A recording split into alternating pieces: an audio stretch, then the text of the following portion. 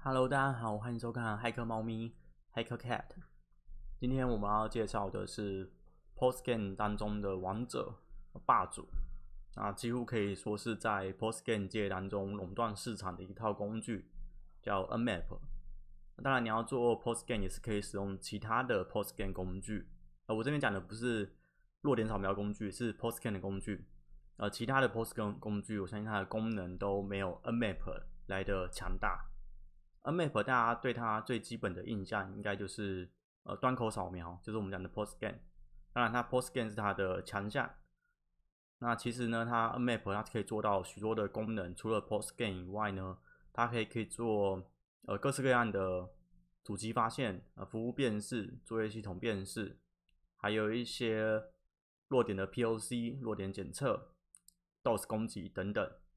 啊，除了功能多以外呢，它的准确率也是很高的。呃，甚至呢，有一些比较专门的工具啦，呃，我这边讲的不是一些商商业的，可能是一些 Open Source 的小工具。比如说有一个工具，它可能只能做服务辨识。或者说这个工具专门就只做作业系统的辨识，但是它的准确度可能却没有 Nmap 来的那么高，对，所以 Nmap N Nmap 真的是挺神、挺强大的一套工具。但是呢，Nmap 虽然很强，大家还是要注意一点，而这其实是一个非常重要的概念啊，就是任何的扫描工具，不只是 Nmap，Nmap 它并不一定就是准，每个扫描工具都是一样的意思。那并不是说我今天扫不到这个 port，它就没有开，或者说我扫到它有开这个 port，也不见得它真的就有开。如果可以的话，当然还是要进行一些交叉验证，比如说用 naked telnet 去呃做二次的确认，验证看看这个服务是不是真的有开启。如果要知道更详细的是不是误判或是漏判，可能就要去了解一下测试的原理，或是你的网络的一些架构。你中间有经过了什么样的设备？那你检测的时候，你使用的 Nmap，你使用 Nmap 里面的哪一种检测的方式？也就是说，你可能丢了什么样的封包，得到了什么样的回应去做判断的。那其实我对 Nmap 算是还蛮熟悉的，而不只是我啦，应该讲说，你是做渗透测试的人，一定都对 Nmap 有一定的熟悉程度。呃，毕竟渗透测试基本上是一定会使用到 Nmap。所以 Nmap 根本就是我吃饭的家伙，它就像是我的筷子一样。如果你不对它熟悉一点，你就会没饭吃。那正是因为是这样子，我有点不知道如何去做教学，所以今天的影片先呃就是简单的介绍 Nmap 而已。之后会拍一系列的影片来对 Nmap 的全部的参数跟功能做稍微详细的解说。那今天呢，就先带大家看一下，这个是 Nmap 的。官方网站，你直接在 Google 搜寻 Nmap 的第一个应该就是了。那呃进来之后呢，当然就是你要先下载安装嘛。那这边其实它有讲最新版本，现在是七点九，哎，我现在用的还是七点八，还没装最新的。嗯点它的 Download Page，那往下面看，呃，如果你是使用 Windows 的话，呃，这边有提供最新的稳定版本。七点九一嘛，你就下载，然后安装它就好了。安装过程当中，呃，如果说它有提示你要安装一些其他的工具，建议就是都把它安装起来。然后，Nmap 的网上其实网站其实都有针对它的，看一下，Scanner。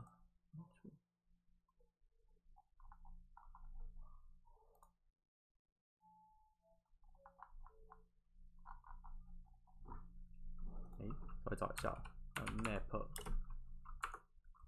减 st，随便打一个参数，哎，找不到，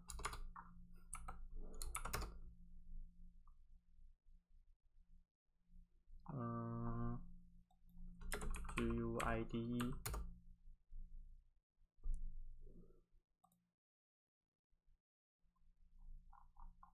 哦，有有有有有这里。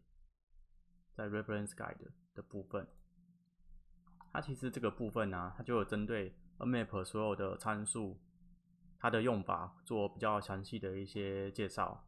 那我之后的影片会就是一个一个做说明啦。那今天就是做个很简单的 demo。Nmap 的使用方法，它使用方法也很简单嘛，就是啊，如果你是安装卡里的话，内建当然就是有有已经安装好 Nmap。首先当然就先输入 Map，你确认一下，哎，它有跳出东西，就是你有安装嘛。那这边有简易的介绍，每个参数是做什么用的。那呃，扫描就是输入 Nmap，然后加上你要扫的目标的 IP 或是它的 domain。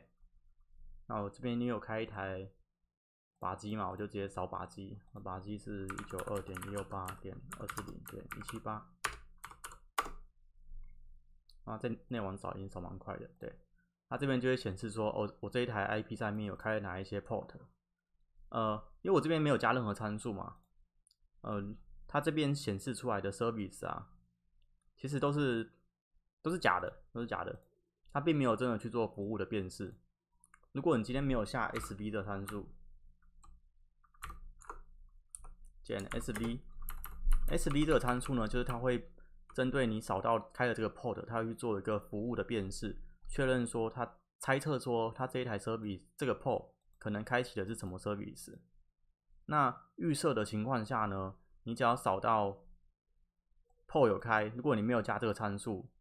它就是呃二一 por 就一定会显示 FTP，二二就一定显示 SH。它这边的这边的 service 是是已经写死的，不管你这个 PO 开了什么功能，它就会回传这个给你给你看。也就是说预设的情况下，三三零六这个 PO 开的是 MySQL 啊，所以它就会去扫完之后，他做完 post scan，他就直接显示一个 MySQL 给你看，他并没有真的去做服务的辨识，然后。Map 就是，对吧？你可以加一些参数，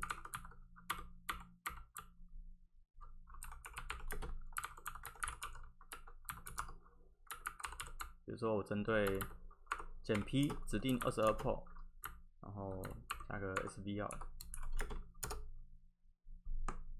它会针对这个 port 去做服务的辨识。那它扫出来就是，哎，就是 OpenSSH 嘛。那 service service 是 SH 没错，然后它扫出它的版本。那它的使用方法，你要最简单的话就是输入 IP 或是 domain 就可以了。那之后呢，会再做整个系列的影片去讲 A Map，。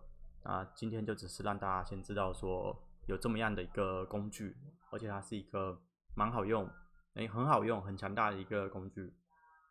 今天的影片呢就到这边。